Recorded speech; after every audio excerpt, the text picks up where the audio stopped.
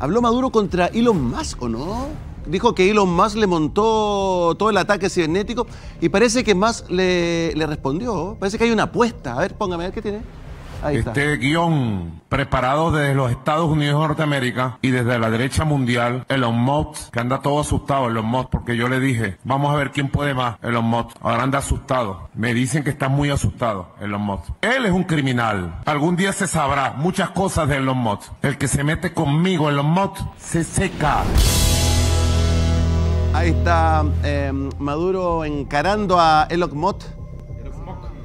¿Cómo le decía? El, ¿Y de avión le decía Elon Musk? A ver, más. Musk. Musk. Eh, Pancho Rego. ¿eh?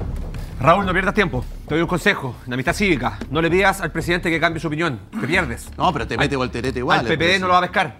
Habla con el compañero Campo. Ahí está la manija. Habla con Lautaro Carmona. Ahí está la manija. Si ellos mandan, compadre. No, son dense minorías, vuelta, dense son vuelta una buena por se todas. quedaron solos. Acá, acá tenemos, tenemos la posibilidad de analizar este, este tema desde la perspectiva doctrinaria, como muy bien lo señala Axel, y hacerle entender al compañero comunista que es lo que defiende es una dictadura del proletariado que está no en su declaración de principios porque no tienen, sino que está en su ideología política.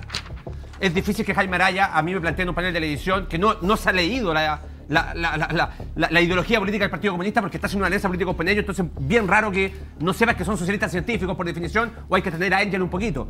Pero eso da lo mismo, porque es, no voy a decir, es una lata al televidente.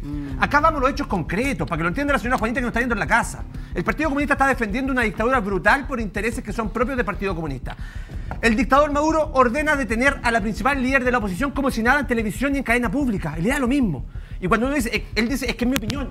No es la opinión de Maduro. Él manda a Tarek Williams. Él designó a Tarek Williams. Tarek Williams era su mano derecha. Él hace y deshace con el Poder Judicial. Él hace y deshace con la Fiscalía. No es la opinión de cualquier pelagato, es la opinión del dictador. Así de simple. Él manda a detener a la líder de la oposición. Mientras Gabriel Boric lo único que hace es decir, no vamos a cortar relaciones con Venezuela. Y se lo pasean por ahí mismo. El embajador Gamburo lo traen de vuelta para acá y le vamos a seguir pagando el sueldo porque no vamos a romper relaciones diplomáticas. Esa es la verdad. Maduro nos insulta públicamente, señora Juanita, a usted y a todos a todos los chilenos, nos insulta Maduro. Porque dice que la revolución que se está viviendo en su contra, ¿saben quién la armó? La armamos los chilenos, junto a los peruanos. Porque nosotros entrenamos los Lo tiene, ¿no? A ver, lo tiene. Póngame lo que dijo Maduro sobre Chile y, y voy contigo, Axel. Perdóname, Pancho, me, me están apurando de arriba. Eh, presidente Nicolás Maduro Casi ofrece rueda de prensa. A ver. 80% de los migrantes que aceptamos que regresaran en vuelos de Estados Unidos están en el ataque criminal, han sido capturados. En Nueva Esparta, por ejemplo, todos los que fueron capturados de los destrozos, todos vienen entrenados de Chile y Perú, centros de entrenamiento en Chile y Perú, y regresaron, no son de Nueva Esparta, son de estados orientales, de Sucre y Anzoátegui, y regresaron al país hace 15 días, con planes O sea, Euge, de atacar, ahora la culpa es atacar. nuestra. Pero si esto, pero si esto es de loco, ahora la culpa es nuestra. ¿Cómo no van a ir de afuera? Axel, a ver. Mira, a mí me gusta la historia y las ideas. Creo que las ideologías hablan más de, la- de las personas y de los conflictos que se dan en nuestras sociedades que cualquier otra cosa. Justo hoy estaba repasando un texto de Marx, eh, el ensayo sobre la cuestión judía que escribió, donde él habla de los derechos humanos. Y Marx dice que los derechos humanos son una construcción de la burguesía para sostener el sistema capitalista, porque son derechos individuales que lo que permiten es la persecución del interés y el egoísmo de cada una de las personas y por lo tanto van a llevar necesariamente a una estructura de explotación y de opresión de unas clases sobre otras. Entonces había que deshacerse de los derechos humanos fundamentales y se cita, y cita en el texto, la declaración, ¿no es cierto?, en tipo de la Revolución Francesa, cita eh, la Constitución de Virginia y otras, otras cuestiones más. Y él dice los derechos humanos son un invento de los capitalistas. Los marxistas no creen en los derechos humanos, salvo, y por eso lo de Carmen, Carmen que nunca ha creído en los derechos humanos, salvo si los pueden utilizar como instrumento de poder político para ellos. Y eso es lo que explica, y eso, exacto, y eso es lo que explica, salvo si sirven para la revolución, como argumento para la revolución. Eso es lo que explica esta supuesta incoherencia de la izquierda chilena en materia de derechos humanos. Son instrumentales, ellos no creen en los derechos humanos, como aparentemente el Instituto de Derechos Humanos en Chile tampoco. construcción liberal. Son una construcción liberal de la burguesía y del capitalismo. Eso, eso es punto uno. Punto dos, para ir al, para ir al tema migra exacto, para ir al tema migratorio. Punto dos. Hay un riesgo que nadie está tematizando hoy día de lo que está pasando en Venezuela. Y que es el de una guerra civil. Yo quiero llamar la atención sobre este punto. han trascendido informaciones, a mí me ha llegado, de grupos de las Fuerzas Armadas que ya no estarían obedeciendo y se estarían descolgando. No sabemos cuántos son. Ver, pero, pero esa data que te está llegando es buena fuente. es buena fuente. Es buena fuente. Ahora, no sabemos qué va a pasar. Tal vez no hacen nada, tal vez lo logran suprimir rápidamente. Pero si efectivamente se separan grupos importantes de las Fuerzas Armadas, mandos medio y bajo, tú lo que podrías tener es una guerra civil en Venezuela. ¿Ok? Y si tú tienes una guerra civil en Venezuela, yo creo que los cálculos de 2 millones de refugiados te van a quedar cortos. ¿Ya? Porque claro, por la, por, la, por la defensa de la democracia, los venezolanos están dispuestos a dar la vida y por la defensa de la libertad, ¿no? Frente a este dictador. Y obviamente, si eso llega a ocurrir, no nos olvidemos que esto también es un conflicto en un contexto más amplio de la Segunda Guerra Fría que estamos viviendo entre Estados Unidos, Occidente, China, Rusia, Irán, que están detrás de Venezuela. Como en su época estuvo la Unión Soviética detrás de la Unidad Popular y está Estados Unidos detrás del otro lado. Esto, de alguna manera, tiene similitudes con el pasado. No es lo mismo, pero tiene similitudes. Así que pongámonos en ese escenario también, que tal vez no es el más probable, pero pongámonos en ese escenario. Porque eh, el gobierno de Boric, como bien decías tú, podría enfrentarse a una catástrofe migratoria de la que ni se imagina cómo va a salir, si es que, si es que eso llega a ocurrir. Eric Campo. Yo creo que, mm, que no sé, a rato si estoy en un seminario de marxismo o, o qué, pero, pero puedo colaborar en eso. Mira, yo lo primero, si me permiten, 10 segundos para, Por favor. para decir cosas que acá, un fake que metió el señor Axe, eh, el fake que... No, pero ya, pero si te escucho con atención profunda, mira. El, el fake que metió que el Partido Comunista Alemán está proscrito, mentira. No, lo Google, proscribieron en el pasado. Dijiste eso, dijiste. Después se volvió bueno, ahora sácate el pillo. Está bien, está bien, está bien, está bien, una está bien, vez. está bien. Se proscribió en el Después pasado. yo pido... Puta. Ya, ya, ya. No, después yo pido- po. Ya, ya, pero, pero, pero Ya. después, lo, después, después, después lo corrige, después lo corrige. ya. Yo estoy mintiendo. No, no, no, Después se dijo que el Partido Comunista manda a Gabriel Boric. Yo les quiero decir, el- eh, eso es, una, es mentira, sí, un poquito de honestidad intelectual. ¿Quién es el ministro de Hacienda que es el que manda en Chile? ¿Marcel? No es comunista, ¿no? Al menos que usted piense en la casa las cosas que le dice esta gente. No es comunista.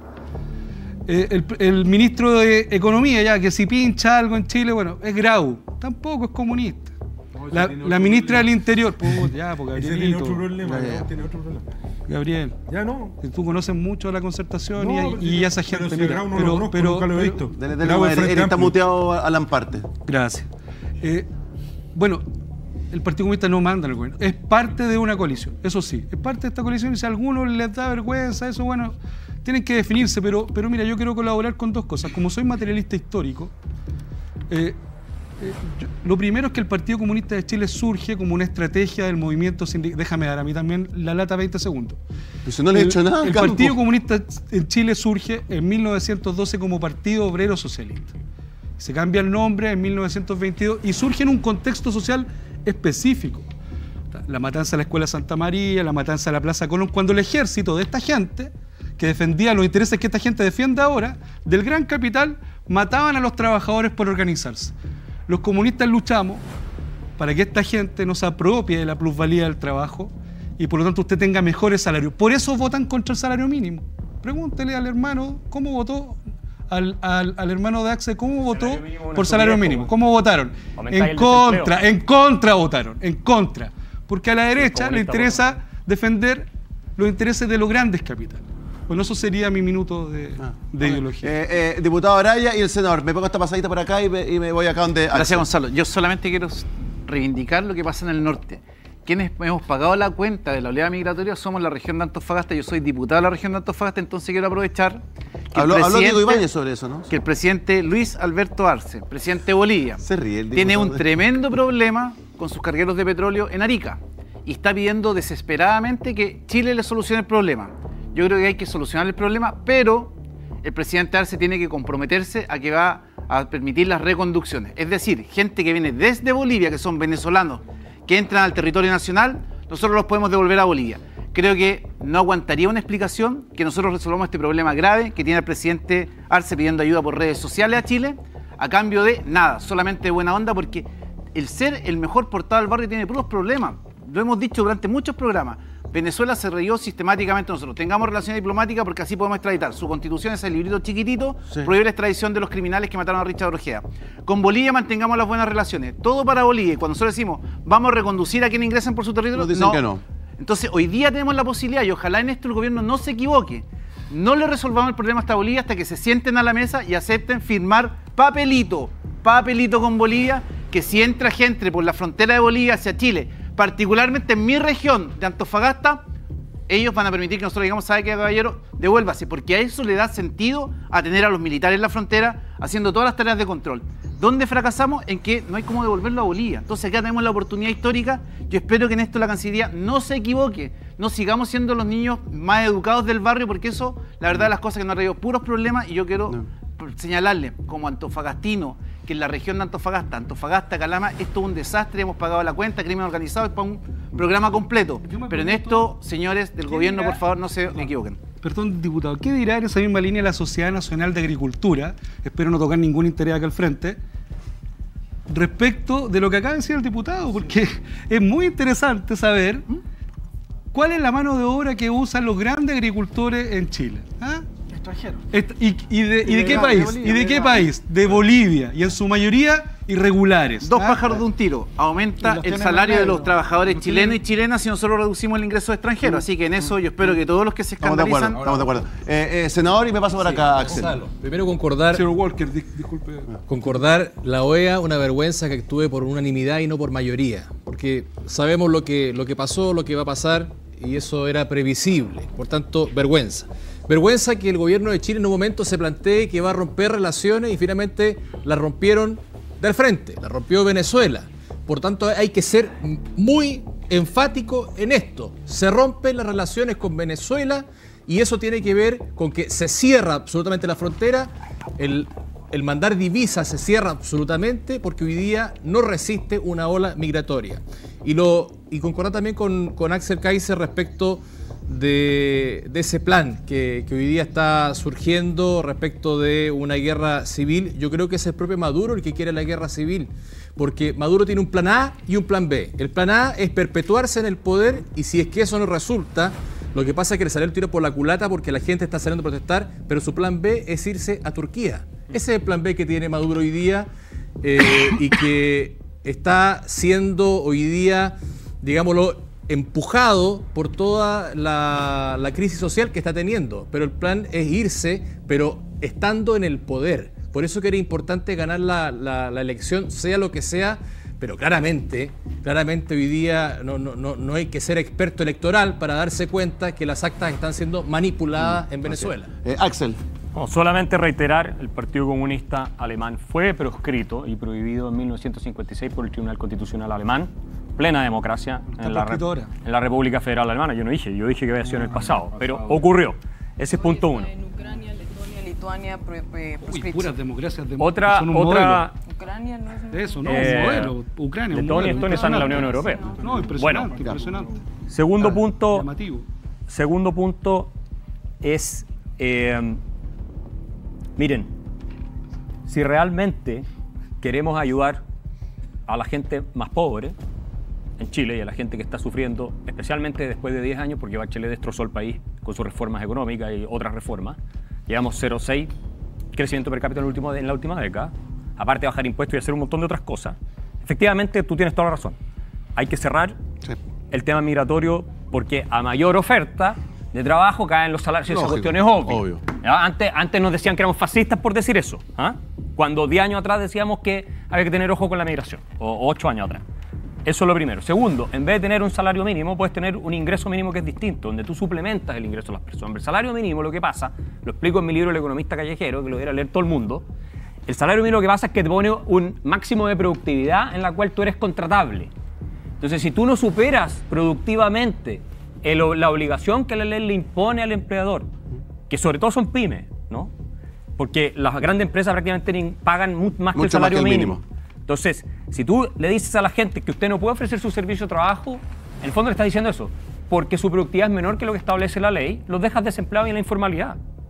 Entonces, para eso es mejor complementar el ingreso con transferencias, con- hay que ver la política Con, pública. con otro tipo de incentivo. Sí, no es una buena idea y no es por los grandes capitales. Yo estoy de acuerdo además con una cosa que se dijo ahí. Efectivamente hay intereses corporativos que quieren migración abierta y- descontrolada en- eventualmente. No creo que hoy, pero la hubo acá.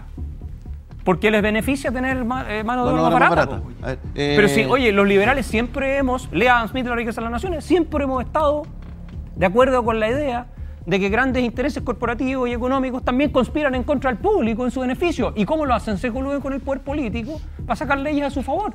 Entre otras cosas, fronteras abiertas para los inmigrantes. Que quienes lo más lo han promovido vienen de la izquierda. A ver, eh, eh, ahora Gabriel. están trabajando en la Aguanta, aguanta, empresa aguanta un poquito, diputado. Gabriel, y después búsqueme, búsqueme las declaraciones de Diego Ibáñez sobre. bú- bú- ten- téngamela eh, eh, al emparte. Bueno, mira, yo creo que aquí se ha hablado del sueldo mínimo como si fuera la panacea. En realidad, el sueldo mínimo lo que perjudica finalmente a las pymes, no perjudica al gran capital. Sí, pero te, voy a Parlamento. expli- pero te voy a explicar una cosa, Eric, Explica, interesante. ¿Sabes cuánto es el sueldo mínimo en Venezuela? 130 bolívares. Al día de hoy, Tres 3,5 dólares.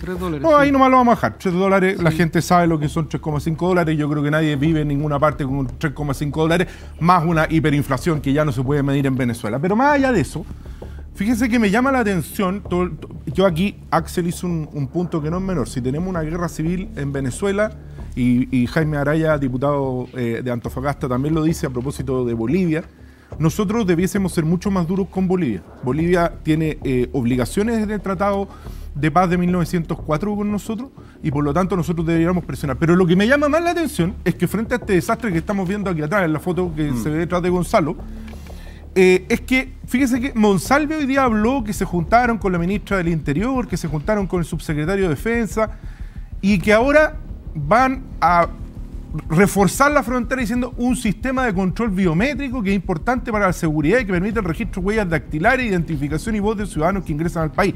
Vamos a aumentar los militares en la frontera norte, más infraestructura y recursos de tecnología en la zona. ¿Qué han hecho todo este tiempo?